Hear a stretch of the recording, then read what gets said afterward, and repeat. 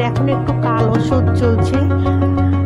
তো সেরকম টানঝামা, কোনো কিছুই খাওয়া দাওয়া সব কিছু নিরামিষ চলছে।